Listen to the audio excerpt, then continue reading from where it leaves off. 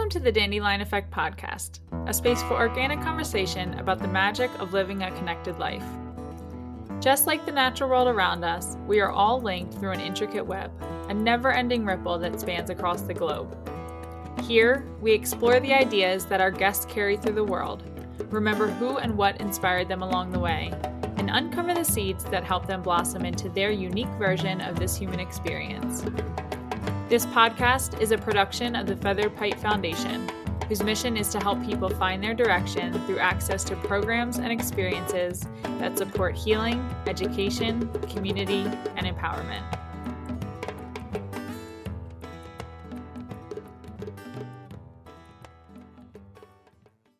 Hi, everyone. Welcome back to the Dandelion Effect podcast. I'm your host, Andy Van Treese, and today I'm recording this from Bozeman, Montana, the first week of October. And believe it or not, we have snow outside, about seven inches in town and much more up in the mountains. The season at the Feathered Pipe Ranch just ended one week ago, and what perfect timing to close out the summer without a huge snowstorm on our guests. We really cut it close this year, but everything worked out nicely. Today, we are bringing you a very special episode.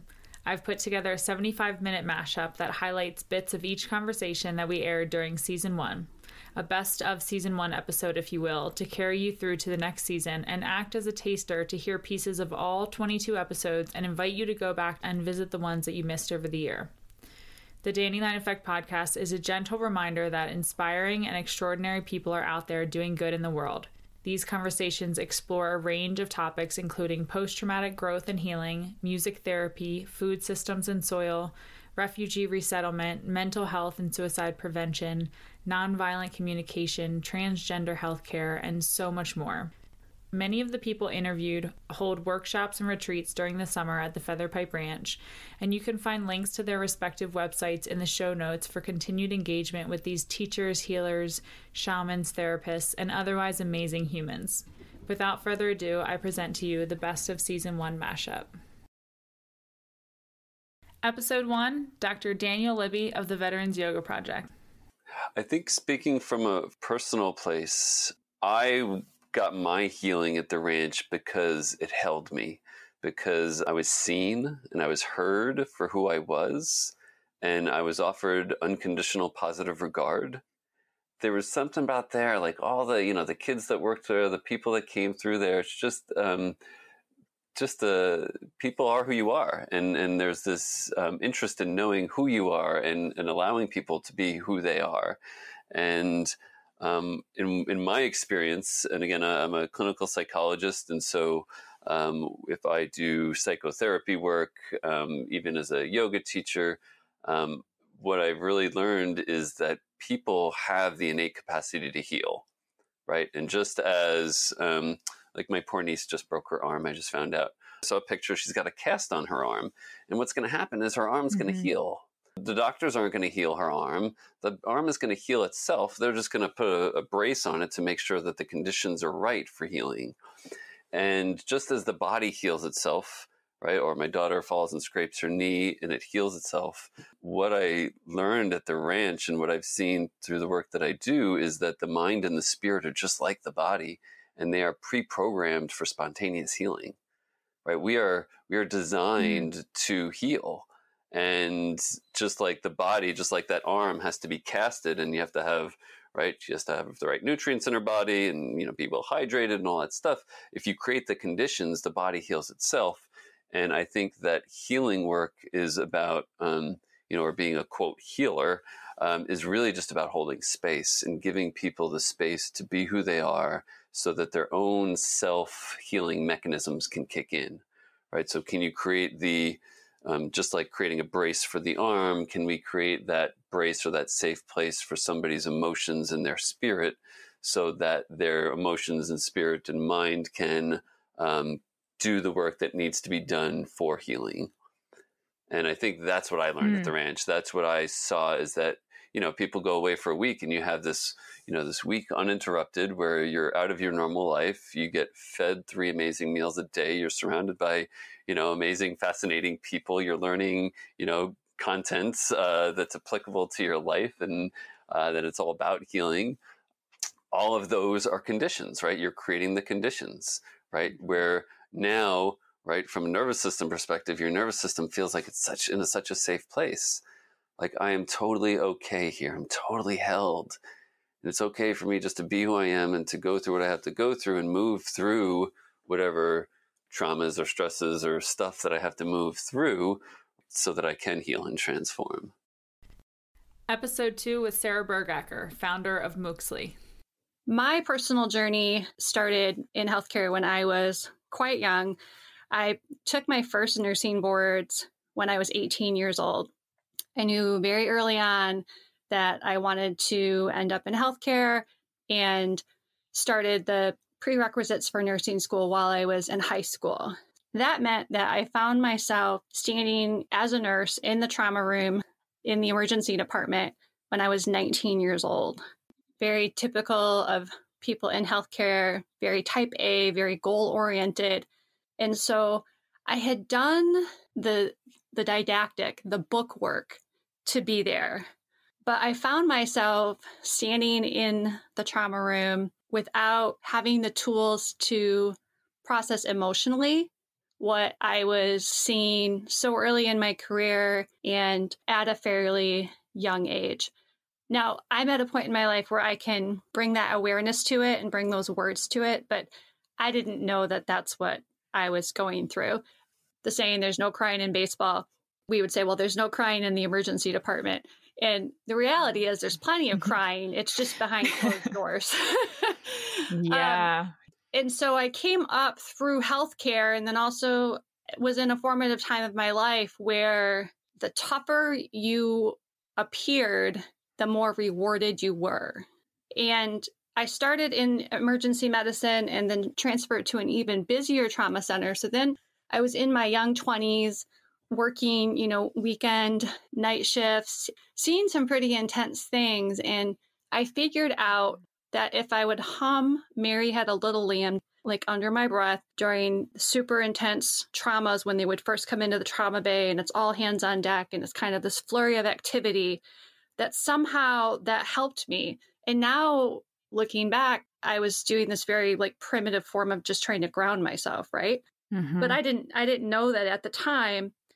I still remember the night I was working in the ER. They had pulled me out of the pediatric ER to cover the adult ER. And they were like, there's, you know, yet another trauma coming in. I believe it was violent in nature.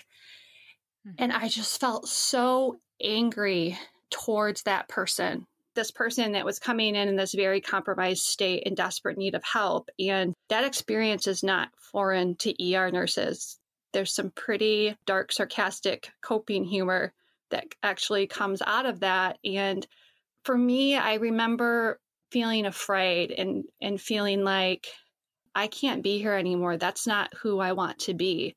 And at the time, I didn't have the tools to know that if I had wanted to, I could have stayed there giving that type of care, but changed who I was as a person. Episode 3 with food writer Allison Radecki. The thing that's most interesting to me now in this weird kind of limbo is seeing how food is being talked about, coming up in conversation in so many ways, especially with people who might say, I never thought about that. This time where our entire country and the world has had to stop and slow down. And it's slowed down so much, whether it's your own life, whether it's the fact that you're not uh, able to leave the house as you used to, depending on where you live, slowing you down to realize that, wow, for the first time, I saw empty shelves in the supermarket. You know, there was it was impossible to find flour for a while around here, to find people who are who had to cook because restaurants were closed, and if you were going to find a way to have food in your house, people I know who I never spoke with about food or cooking were like, Allison, beans, beans, tell me about beans, dried beans, canned beans, what am I going to get? Um, oh, we're, we're buying tons of beans because, you know, there's the, you can't get food. But it also got people to think, why is the food not there on the shelf? If the produce isn't there, where, where's it coming from? What do you mean things are slowed down. Well, why would that matter? What do you, wait, the cucumbers are not coming from here? Like, where are they traveling from? People who are either growing and cooking and teaching at the same time, they were primed to respond to what happened in the world and they kind of went with the flow. Um, I think about there's a woman named Leah Penniman. She's a co director of a farm called Soul Fire Farm. oh, I've State. heard of this. Oh yeah. my gosh, yes. Mm-hmm. And she also just wrote a book called Farming While Black.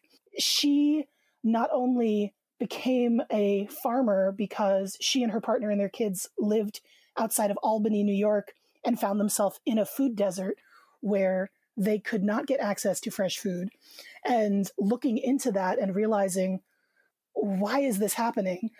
If you're looking at that, you have to look at systemic things such as racism and access to land that are baked into the distribution of land and food. And she not only became a farmer, but is teaching people how to farm and also now has a CSA that is feeding many families in her community. So it's not only growing, it's teaching, it's giving access and sharing um, with your community. I find that that's what is exciting to me. It's not it's not just about people saying like, "Can you make sourdough?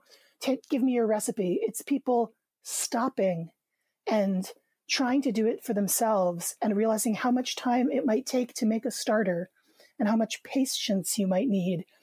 My next door neighbor, she texted me. She texted me saying, Do you know a good sourdough starter recipe? I said, I know someone who does. And I, you know, connected her with a friend. And then maybe a week later, a beautiful loaf of bread came by, uh, you know, was oh, there at my front door. Yeah.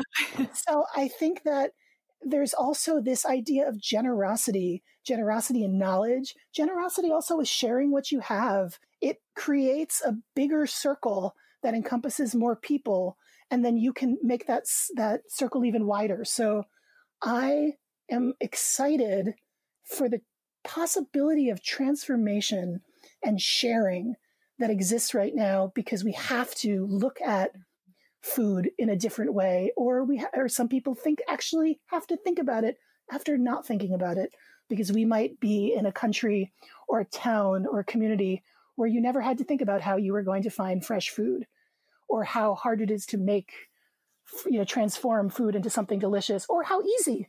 Maybe you found that you liked it. That's what's exciting to me the communication that's happening around food.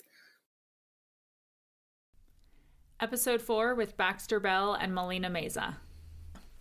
If we think of Ayurveda as the health science, the sister science to yoga, um, one of the definitions of Ayurveda is life science. And one of the definitions I really love these days is the art of living. And so, what it's trying to do is keep us in relationship to nature wherever you live and to uh, learn how to read nature for when to potentially make changes in your life based on what's happening out in the external environment around you.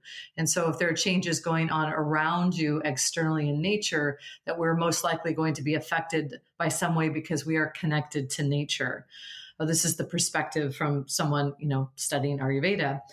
So what's valuable then is nature isn't always the same. There's it's constantly changing and so are we. So how to learn to accept change whether it's seasonal basis or daily basis or hourly basis to acknowledge, oh, my energy is different from the morning to the afternoon to the evening, or my energy um, might be different from summer to winter. Um, we have different cravings based on the amount of light, for example, that we have within a day. So, for those of us when we're in summertime and we have these really long days, you know, it's interesting to point to um, what's going on in nature around you. And there's tons of, you know, food growing in that season where the days are really long and we're really productive and active. And so there's like lots of food to feed us and nourish us, these quick carbs that we would have to get through a really long day. And then um, the opposite would be in winter when we're in these really short days and there is not that much light. There's not that much food that grows in winter in a lot of places. And so, you know, we've picked the food, we've harvested the food, and now we have food that needs to be cooked that we've stored.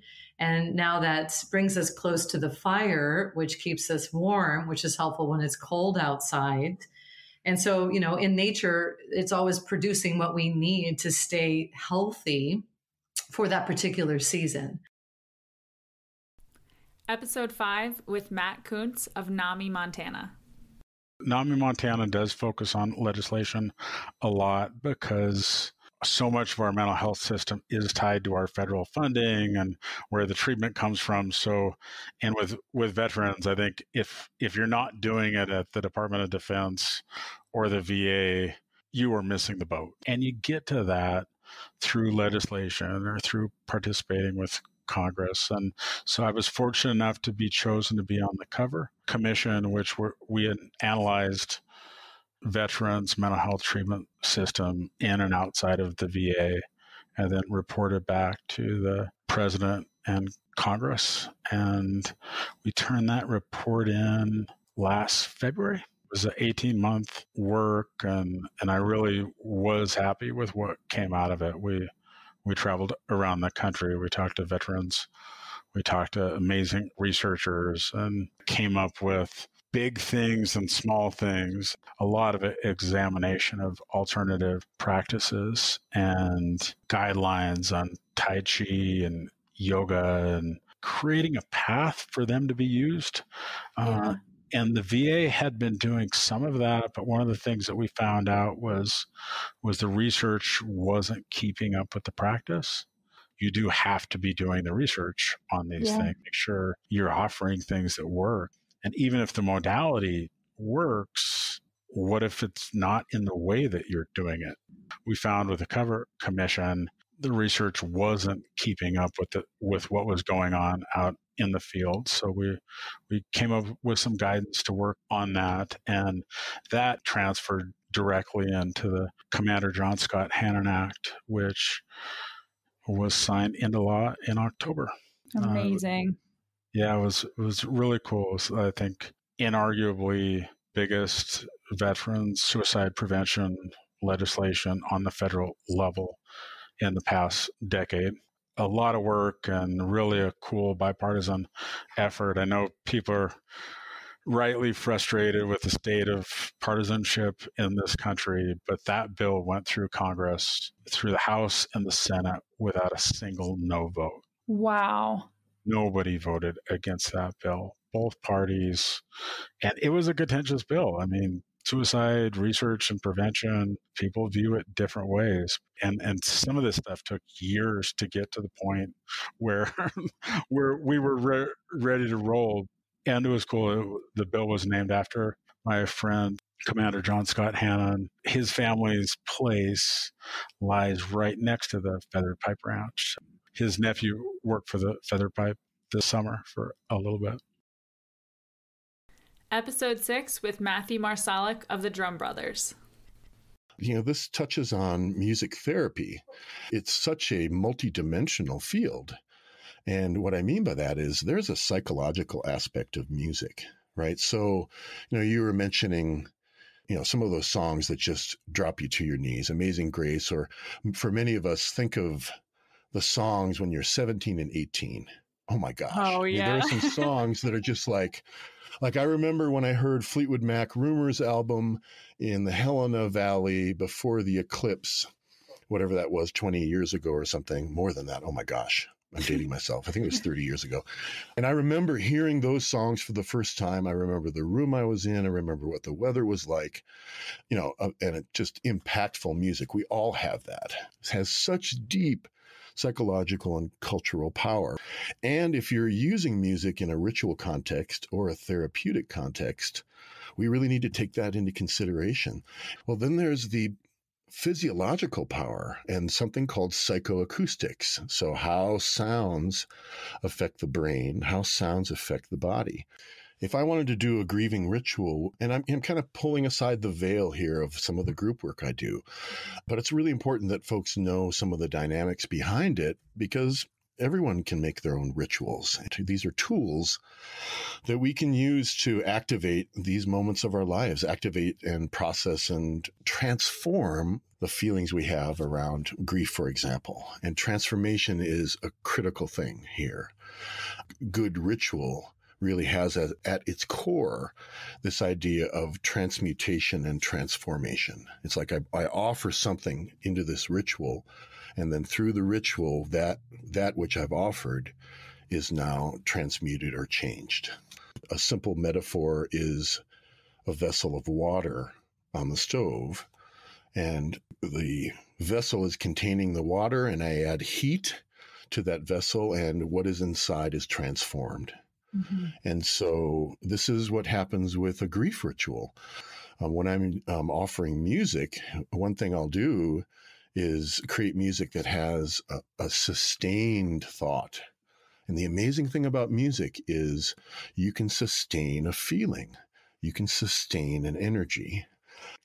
So it's not as fatiguing for the group just to sit there in silence and have each person do a part of the ritual. When there's music present, suddenly there's a way to draw in and draw out with your attention and with your emotion as you feel engaged or as you feel you need to quiet and back up a little bit.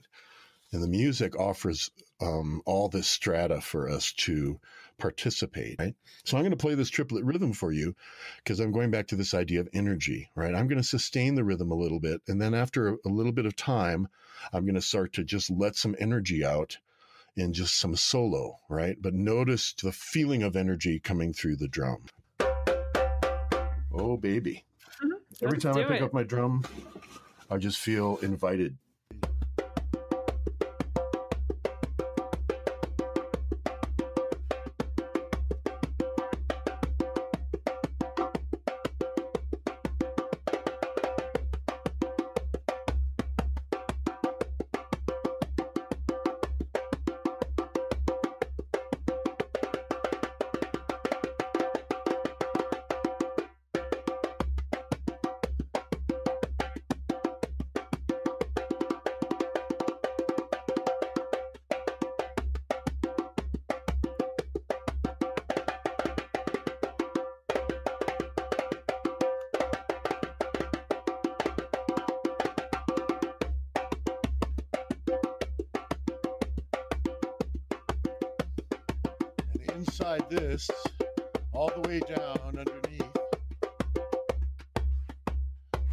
is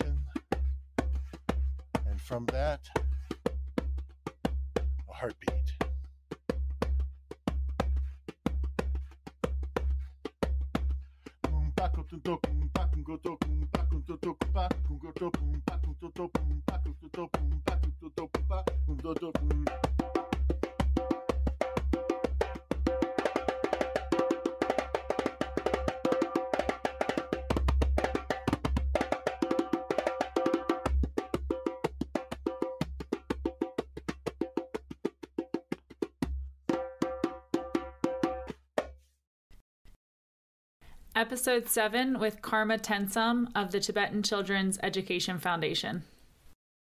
I believe that as a global community, whatever we are, we have slowly built on all the traditional wisdoms. So, I, for example, living here in Montana, I've come across Native American communities. I've been fortunate to visit the reservations, explore similarities of our thoughts and our spiritual beliefs. And at the core, it is striking to see that there are so many similarities. So, Andy, I truly believe that modern science, and you know, please don't get me wrong, I am a massive fan of technology, anything that alleviates human suffering anything that you know get rid of disease and hunger is positive. So I have nothing against science, technology.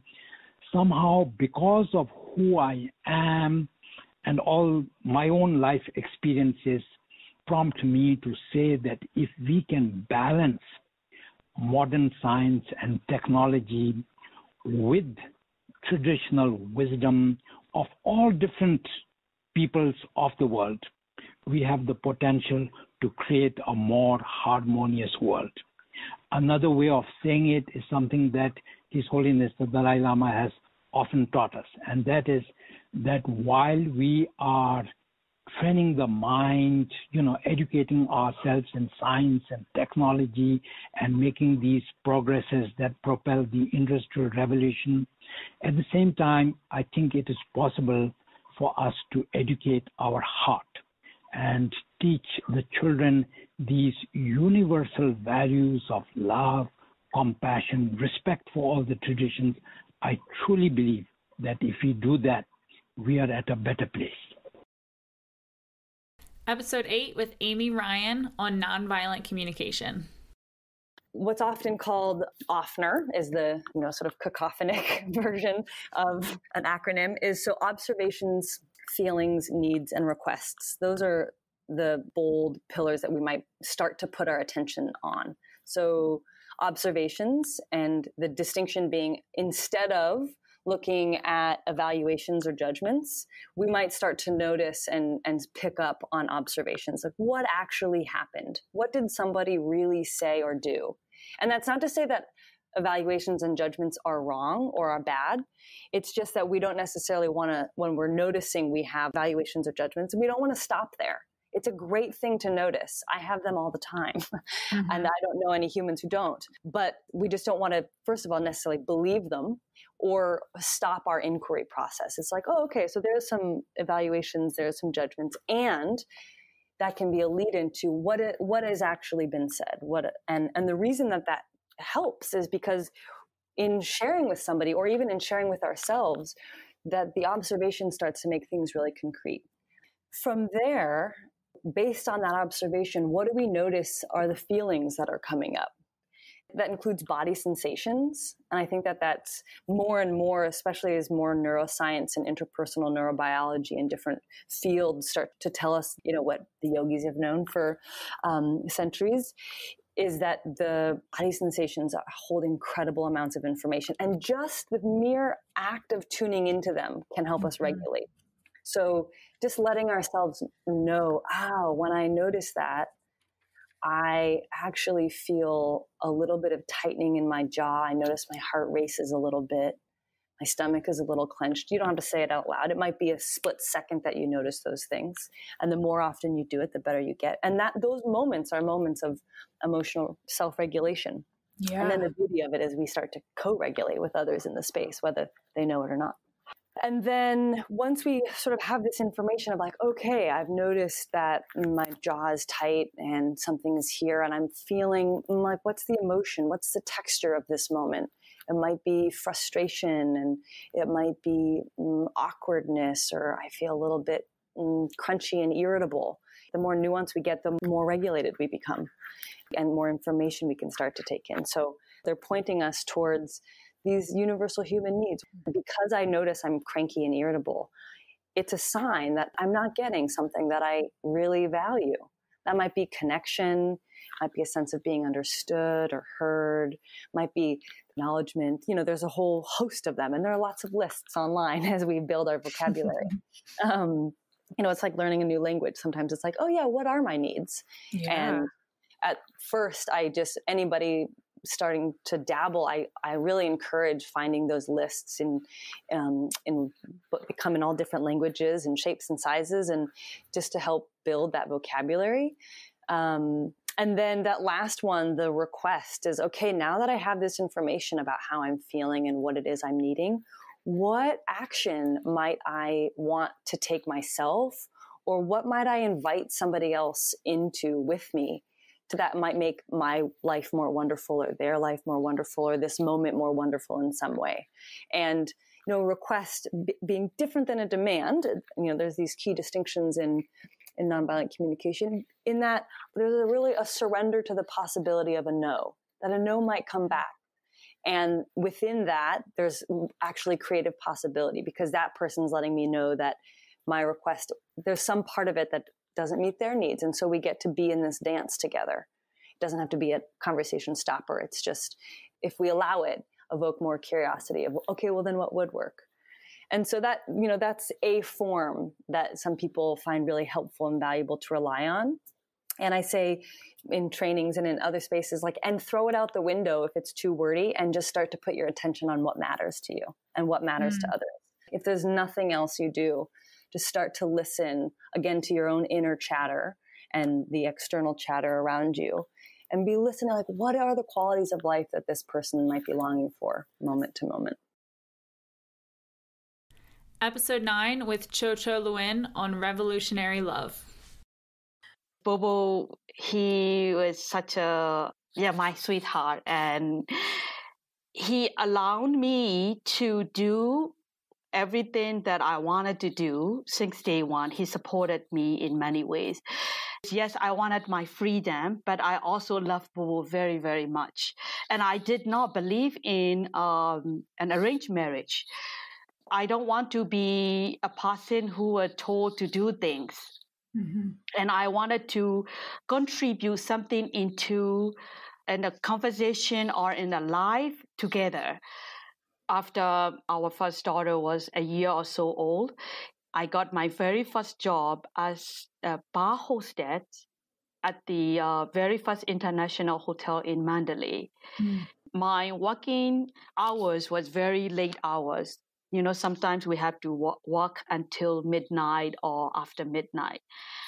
And my, I remember, you know, how in Myanmar the traditional norms and belief of well if you see a woman after midnight that she will not be a good woman it is mm. a loose character it's only the woman who has a loose character can stay up uh, until midnight or odd hours i was earning a lot of good money and my husband at that time was studying as an engineering student I wanted to support and I wanted to get some income. So I worked there and happily, and it was a good pay job. But one day, my mom told me that I should quit my job because few women from our community concerned about what I'm doing, mm. and they thought that I was uh, a prostitute. I any money on that, or so my mom that maybe you should quit the job.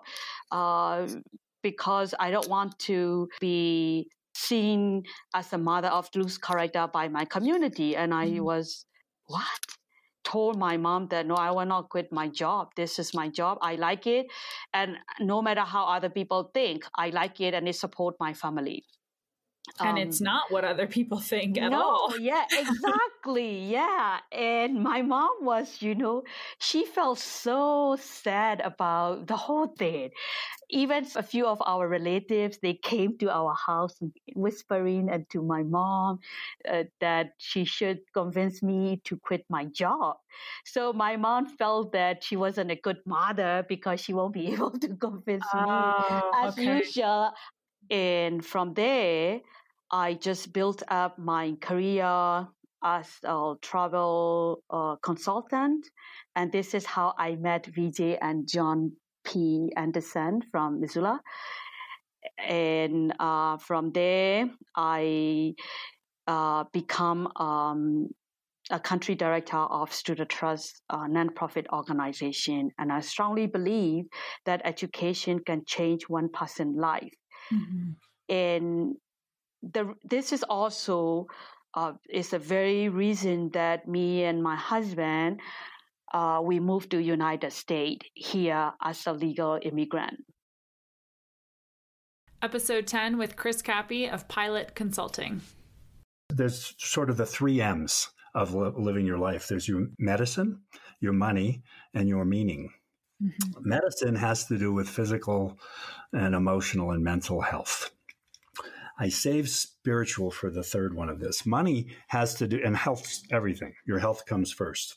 If you don't have your health and if you don't have a way, and your emotional life and your support, relationships, family, and friends, those things generally for most people are of a higher priority, not all, than their career, their success, their financial independence, their status seeking, their rising above recognition, all those other things. uh, money is enough to enjoy this life on your own terms. And that can vary depending upon who you're talking to a lot. But the difference between having enough money to be in this life and not enough money is is huge. It's a big gap. And the other thing about good, healthy businesses is they make money so that they can do things not just to fund themselves, but to fund other causes and other charitable kinds of things. I, you know, we have a part of our business that is about contribution and giving back for the last, man, since I was 40, 28 years. The meaning part is, is the one that I find is underneath the hood of all of these people. And some achieve it and some don't. That's where David Brooks is talking about. Meaning is what juices you, what gets you up in the morning, what, why are you here? You know, I'm here to help people in their companies to be and do better. That's nine words. That's a mission for me. That's meaningful to me. I hope something that's said here in this wonderful podcast that you're doing, the dandelion effect hits somebody's ears and somehow they get it, you know, in a different way. You never know. But everybody, the mission and the meaning and the why you're here is is is there's so much research on this that ties in with health. Uh, people that live longer know and have a reason about why they're here. And the funny thing is, you can't look up to God in the sky to figure this out. Somehow it happens within you. You know, God, when Muktananda, that teacher, used to say, God dwells within you as you. See God in others. Welcome others with love and respect. It's an inside out kind of a orientation to discover mm-hmm. And to live into the questions. And this is what Campbell was talking about to me early on that it, it, it you, whatever it was that you got that came into you, and that part about what's meaningful that gives you energy, that has cause and that pur- purpose, that's that's a very important thing to figure out. Episode 11 with functional medicine practitioner Dr. Joseph Lamb. We've been trying to define wellness uh, in kind of five fields at the moment the cognitive component, the emotional component, the physical component, and then the metabolic component. You know, physical being what you can see with the human eye, and metabolic kind of being the part that you can't see with the human eye, the microscopic versus the macroscopic. And when we when we start with those four, and we realized very quickly that behavioral needed to be added because the behaviors that we undertake are the expressions of where we are. And I think at the highest of levels, when when our spirit resonates through, our behaviors are very clear, and um, and uh, that's where we find the joy. And I think that's where we also find the ability to be of service to somebody else. I really think that service piece is a really important part of showing up in the world. Mm-hmm. You know, so much of our modern society defines our life as do I have enough? Am I happy enough? Do I have what the other person has? And I think it makes us good consumers, but I don't think it necessarily makes us good people in the world. Mm-hmm. When I was in school, I remember probably learning this in eighth grade. A sacrament was defined as the outward expression of an inward grace. And in many ways, I think behaviors are the outward expression of everything going on within us. And I think that spiritual part really speaks to how that behavior resonates with us and with the world, changing society in a meaningful way, but doing it first by changing ourselves and improving our health. Episode 12 with Brant Secunda, shaman and founder of Dance of the Deer Foundation. Well, for one thing, it was living there at the village, being there with Don Jose and getting up every day and telling your dreams to the fire and connecting with the light of what the Huichols call grandfather fire. You know, to go to his cornfield, for example, with him, or to go and gather firewood you know, simple things like this. I remember one story I like to share is he said, Come on down to my cornfield, grandson. I'll, I'll teach you something about shamanism. And I thought, finally, you know, because just living there seemed like a very mundane experience at first. So I thought, finally, now I'm going to get something deep and profound. And so we went down to the cornfield and he gave me a machete. He said, Here, cut the brush down here. And I'm going to plant blue corn here and red corn on this other hillside. And I started to cut down the brush, you know, but it was difficult for me. I had never cleared a mountain. And I went over finally to him. I said, Grandfather, I have a blister on my hand. and he acted like he, you know, that really bothered him. And he was joking around. And I put the machete down. And he goes, Well, you've been here now for a few hours. Earth has been talking to you all day. Did you hear anything? And of course, you know, I said, No. And he goes, Ah, he picked up the machete. He goes, Well, you missed your big shaman lesson. Back to work. Oh, so that was his way of teaching me. And I see that very clearly now. And so that was how a lot of my apprenticeship went just being with Don Jose and living with him and sharing the life. Episode 13 with poet Gary Lemons why this was so hard was because I had watched my father, even as a young man, make incredible sacrifices to hold our family together when there was no mother around to help him. He worked two and, and sometimes three jobs while going to night school to get a better job, which he eventually did. You know, the sacrifices he made to, to keep us together are extraordinary. It was hard for me to to step away from him because of our grave philosophical differences, but I had to also to be true to myself. So when this all happened, the 60s and, and this uh, movement into um, civil liberties, the, I supported the civil rights issues as well as opposing the, the Vietnam War. And he's a World War II veteran, and both of those were an anathema to him. I just left. I, I said to myself, okay, that's it. We're done. And he said the same thing. He said, okay, I don't, I essentially disown you. I was the oldest son. And, and so we went our separate ways. He did what he did. He, uh, he had a, a daughter with my stepmom and they raised all of my siblings and they went their ways and, and I didn't know much about what was going on. Once in a while, my next closest brother, who was my dearest friend most of my life and who did go to Vietnam, uh, would tell me things about what was going on, but that's the only source of information I had. I'd go years without hearing about it. And then um, I was at home, it was like 35 years later, pick up the phone and I say hello and he says, Gary, this is your father. And I go, what? And he goes, um, yeah, I, I want to apologize for my part in everything that went wrong when we were together. Uh, and I'm really sorry. And I hope you can forgive me. And I, I, was so stunned, I didn't know what to say. I said, Well, yeah, sure, Dad, you know. And I, I became a little kid again almost. And, mm-hmm. uh, and then he just said, Okay, well, that's what I wanted to say. And he's kind of abrupt that way on the phone anyway. And so he just hung up. I went, Wow. I turned to my partner at the time and I told them what happened, and they knew the whole story. Uh, and they went, "Whoa, that's that's the weirdest thing I've ever heard. I can't believe he did that. wonder wonder what on." Mm-hmm. And so then four days later, I get a knock on the door. He lives in D.C. I live in Port Townsend.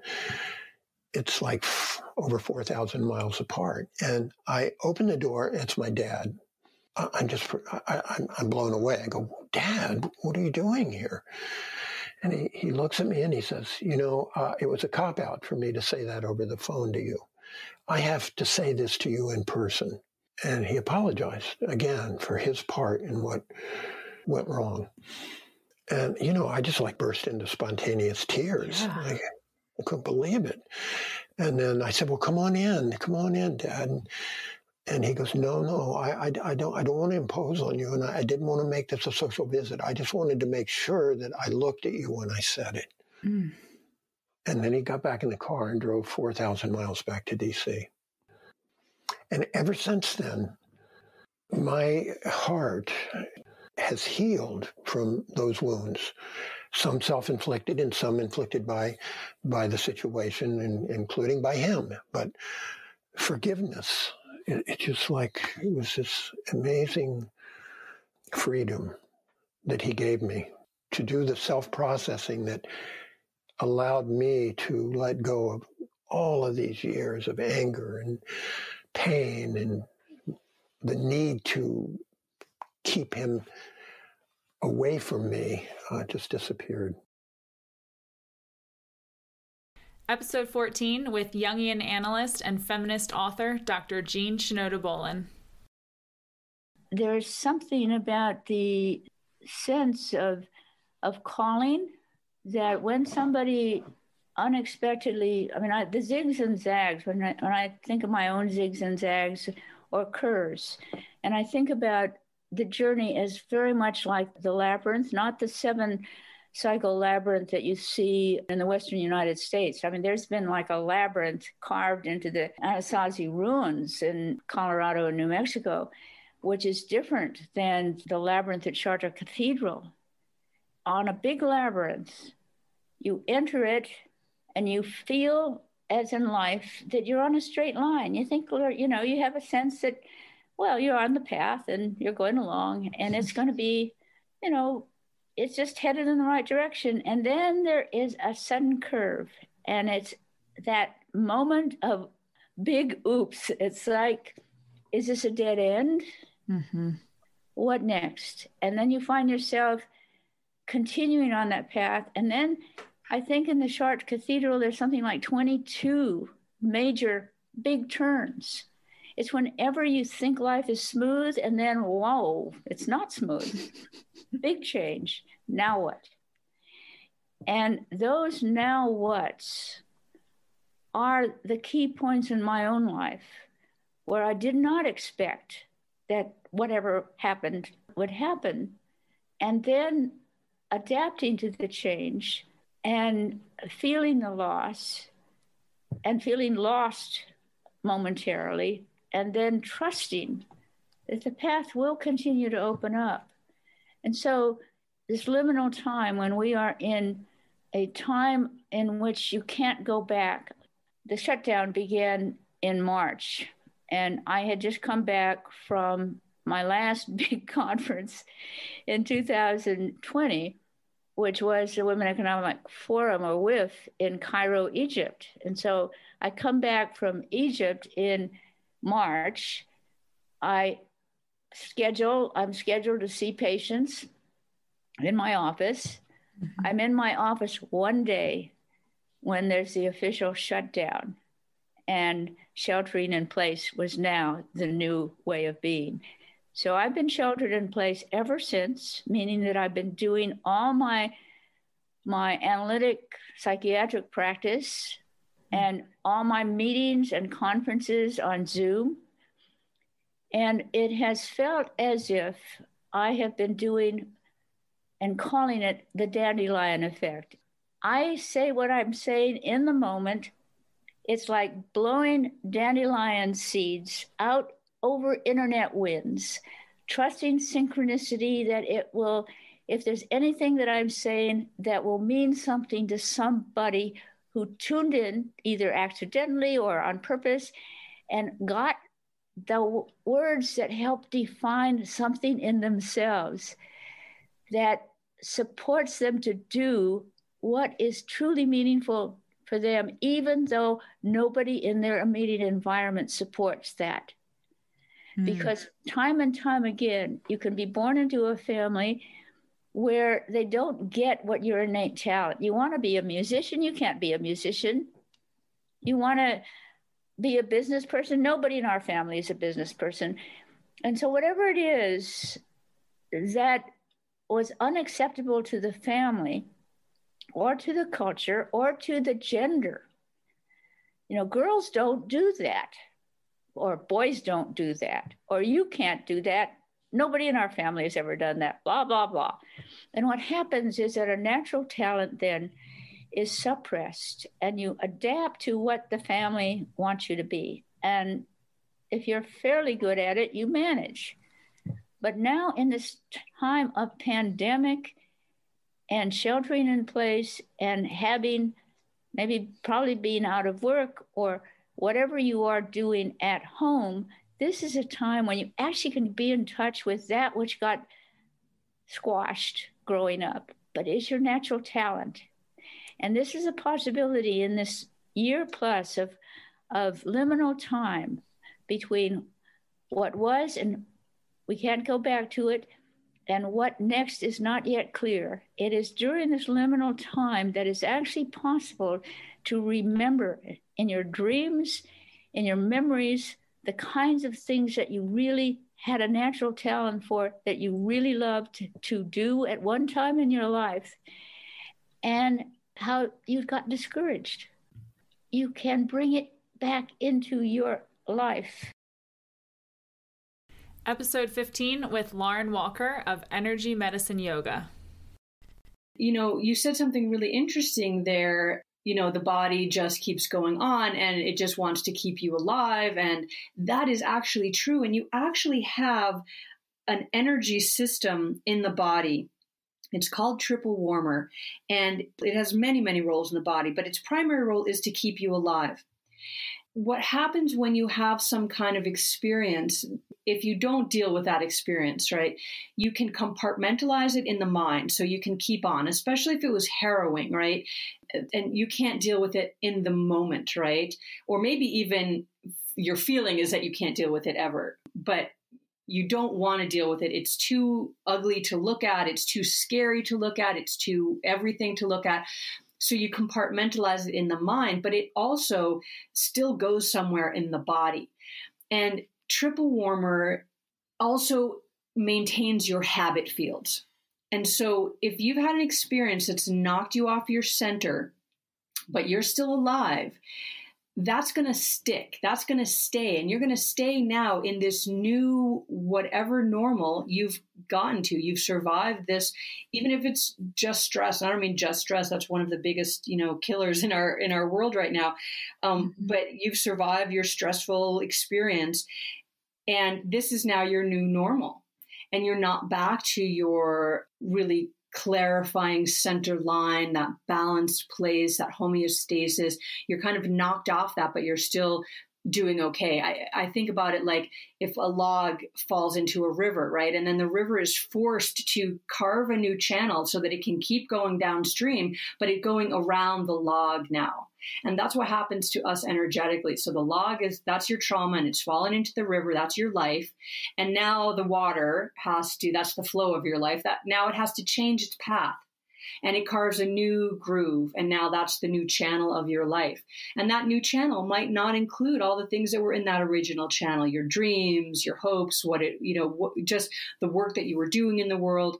But now you're in this new channel and you actually have an energy system that holds this new channel. It's not invested in you clearing that trauma and going back to your original channel. It's just you're alive and that's all it's invested in doing. So you really do need to learn how to basically take the log out of the river and you're not ever going back you're going forward into the calm into the peace into the joy of your life into the ability to maybe you're now having to recreate new dreams because this trauma might have been such that it, the dreams that you had before aren't available to you anymore. So you have to find new dreams.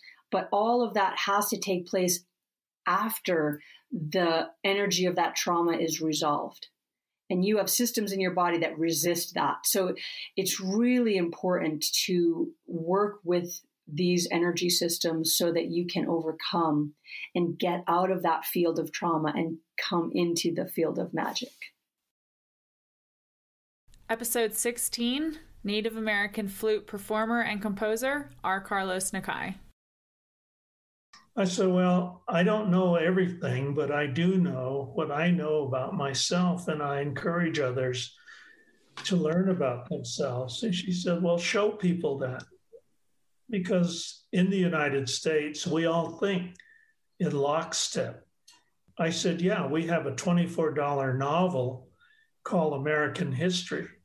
We all subscribe to a bigger novel um, that we called a Holy Bible. I said, but it was written by a number of different people, and they all had their dream. But we've taken it and we've turned it into this is the only thing that works. And you go, no, it doesn't. Because the people who teach at the Feathered Pipe also teach a way, which is quite important, how to get in touch with your soul, how to get in touch with your body, how to realize that breathing in and out of air isn't just an automatic manual thing, but it's a healing process and understanding and learning how to be in that in that sensibility. You know you can heal yourselves. You don't have to go and find some drug or some combination of drugs to make yourself well. It's in, inside of us all of us we're our own healer but we have to learn how to go into our very being you know, it's all inside of us. We were born to make a difference in the world, but we were also born to be of service to others. And so we carry tools. We were born carrying tools. When we came out of that doorway of our mothers, we had a little tool bag that we brought with us. This is what I'm going to do in this world. And it's an adventure when we become everything we say to ourselves, I want to go back and I'm going to do this because it'll be fun to do and it'll help people. So we continue our journey through time in that manner, I think. Episode 17 Gender Affirmation Surgeon, Sive Gallagher. Well, for sure. I mean, the one that comes to mind, I just brought her up, is the the 74 year old who um, was transitioning, assigned male at birth, identifies as female, and had identified for 70 years as a female, but had suppressed it and run away from it because, honestly, you know, back in the day, it was not even safe you know, to transition. So never mind accepted or anything else. So that patient, she'd lived a very successful life as a man, had gotten married, had kids, and then it was the death of a parent in their gosh, they were in their late 60s, I think, when their parent passed away.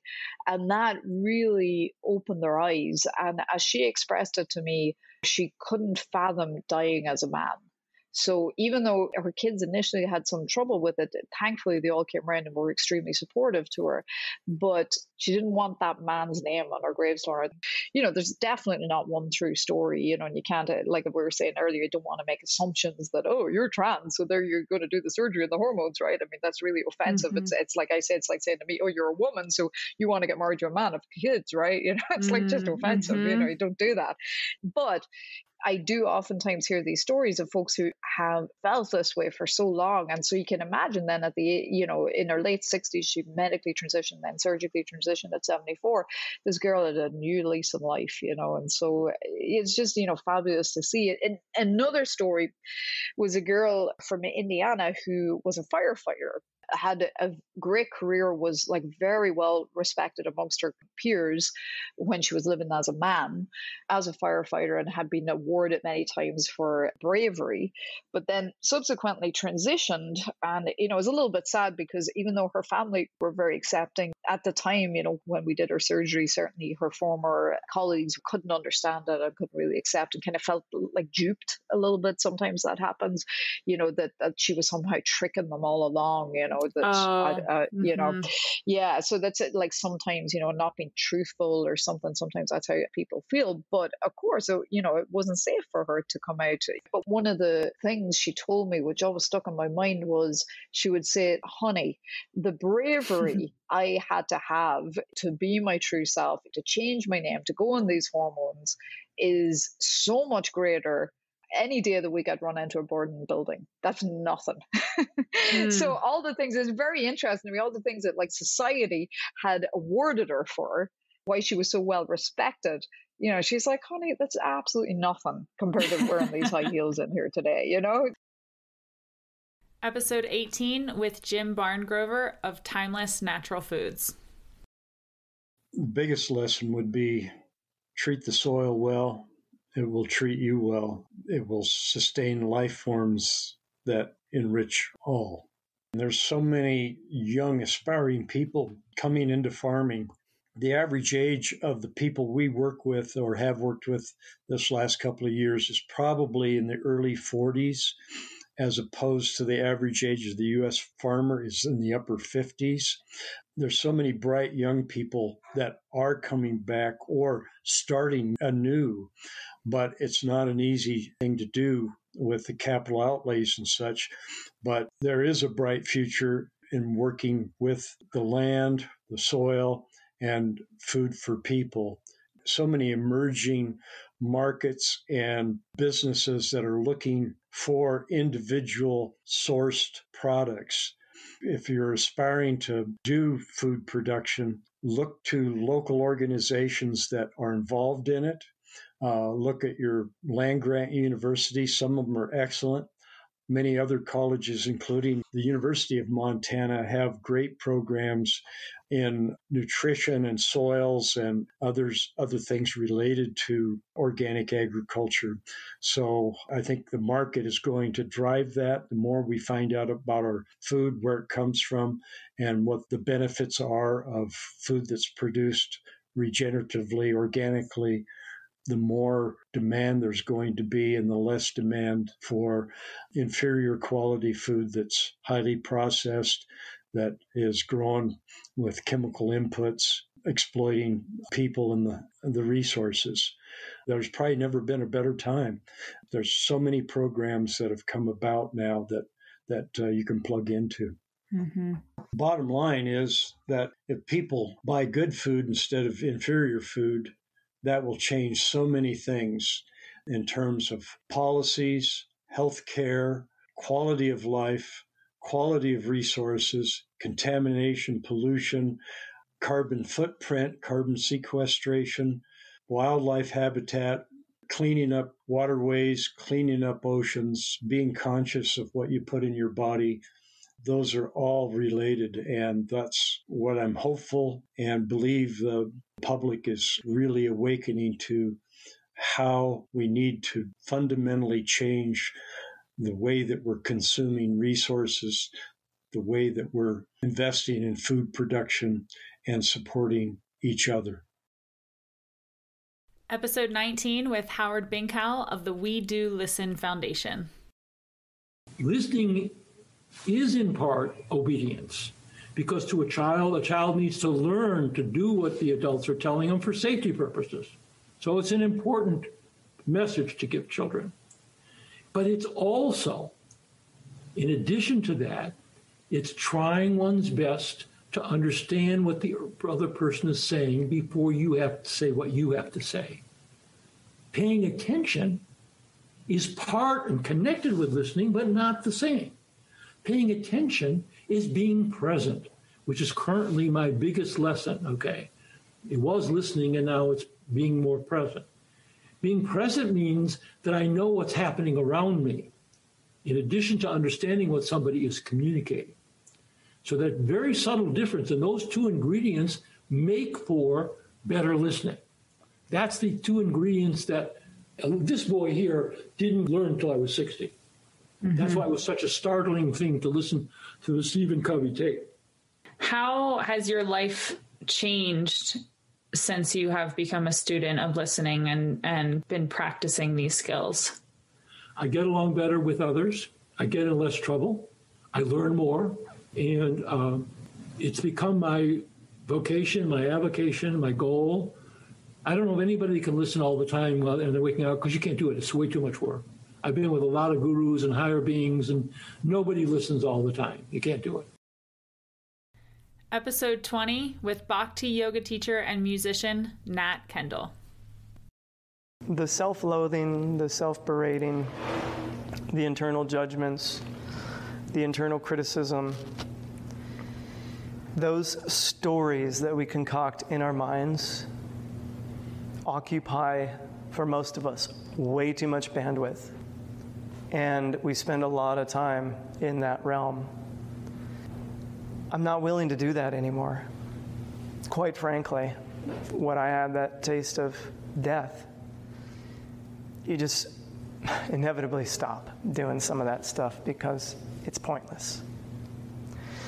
All those dramas, all those stories that we tell ourselves that we're this, we're not that, or we compare ourselves to someone else, is such a detriment for what wants to flow through us in the next moment. When we are holding on to what has already happened, what has already come and gone, yesterday and yester you, when we're holding on to that, then the next moment wants to come through us, but it is filtered by that. This is a huge teaching in the yogic realm. Our samskaras, our habitual patterns of mind thought. And when we start to unwind and roll those back, then we get presented with the moment to start every day as a brand new day and just say, perfect, move on, let's go chop wood and carry water. You know? I don't want to live my life as a constant self improvement project. Mm. I did that for a while. And it occupies a lot. And when you can just spontaneously say, I'm done doing that because I am perfect, I am intrinsic harmony with the universe right now. Me adorably flawed in all the right ways, but perfectly me. When you can enter into that realm, God, it's so liberating. That's the moksha. That is the liberation. And it, it's not easy, but every single day you can start to take little micro moments to say, that story doesn't belong here anymore that story doesn't serve me anymore. Mm-hmm. That story prevents me from being who I really want to be in the next moment. And they're micro moments. And these brains are way too just finicky, fickle. This is the practice of yoga to start to work with these, the minds, and change some of the stories that we've written in there. And I hope that this week here presents us opportunities, all of us, to reimagine, to revise, and to rewrite, and to reconsider how we show up with ourselves. You're taking a beautiful first step by saying, I would like to have a week in nature to practice yoga and take care of myself. I cannot emphasize enough self care and self love episode 21 with the mayor of Helena, Montana, Wilmot Collins. We landed in Helena and they had all this banner up at the airport terminal welcome home wilmot and i mean it was just mm. crazy i stayed on the plane and i was the last to get off and then i got off then I walked into the terminal. And I don't know what happened, but the first sight I called was my wife with the baby. Mm-hmm. She was holding the baby up in her arm. And then I saw her put Jamie, our daughter, down. And she said, There's daddy, go to daddy. And Jamie started walking towards me, so I stopped. Because she didn't know me, I didn't know her, I didn't want to start her. Yeah. So I stopped and and then for some odd reason she started to run towards me and so i just ran towards her i just picked up her and just fell on my knees just bawl and cry gosh. Yeah. And then i thought she was going to be you know cry but she held me so tight. I just started yelling, Maddie, Maddie. And um, I met everybody, you know, I went around and met all the people that went there to meet me. And we went to the Nachsheim's home. And we lived there for another six months before We got accepted into Stewart Homes, the low income housing in Helena. And we stayed there until we got on our feet. Episode 22 with India Supera, the founder of the Feathered Pipe Ranch. And I just see extreme sheer gratitude for everyone I've ever known and for them knowing me and me knowing them. And sometimes I feel pretty poor because I don't have money like other people my age. I never did a Mm-hmm. retirement or anything. But then I think, okay, this is a person who can choose to live in three different houses, not poor when you have a place to stay. So Mm-hmm. I see my life as a love fest. The whole thing is a giant love fest. And I don't have anybody that I'm angry with or ever have been angry with for any length of time. I don't have angers. Well, I haven't talked to that person for 15 years and now I'm dying. I wonder, do I don't have anything like that? I have nothing. I mean, my one regret is that when I was like 13, I stole the bottle of fingernail polish on a dare from the store. I mean, but I've always known truthfully what isn't isn't yours isn't yours. You know, so it was something bigger for me than just taking a bottle of nail polish. Mm-hmm. I mean, everything I've ever can think of doing, like having an ice cream cone at Sav-On and with my sister, you know, and our girlfriends, and walking with her delicious ice cream in the California sun. I look back and I look at my life, and I think the only thing I've ever prepared for was to die, and everything else was just serendipity. Running the ranch, you know, going to Sai Baba. Mm-hmm. Well, all of those things helped me because the people we studied with were all people that thought about things like dying and stuff like that. But looking back, like I said, I wouldn't change a thing. I wouldn't. There's just nothing. Do you have any thoughts or any advice or words for like next generation? Don't try to stuff college in and then your job and then decide at 45 have a crisis. You know, if you finish your college or not, because you can always finish it when you get back from your travels, you can travel, you can meet people, it can direct you in your career, it can do all kinds of wonderful things. Um, no sense to wait. And the thing is that if you wait, and this is really solid advice, people don't believe me. If you wait even to the 50s, which is everybody's pretty strong in their 50s, it's not the same as, you know, throwing your suitcase on a chain, jumping on, hiking 26 kilometers just because you want to. So I'm saying don't be afraid to try. Fail. It doesn't matter. I mean, that's another reason to travel first because it does make a difference when you have kids in college and all of Right. sudden your business. But And you have ties and you have people to take care of. Mm. Mm-hmm. So I say do all the traveling, all the adventures, all the vision making. And then when you come back and get old, you can go to retreats like the Feathered Pipe Ranch and remind you of your problem. That's